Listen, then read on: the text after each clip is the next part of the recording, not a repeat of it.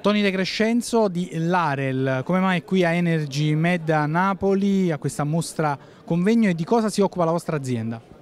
Nulla, promuoviamo il nuovo settore di cui si occupa la Larel, quello dei ricambi per le stufe a pellet e termocamini.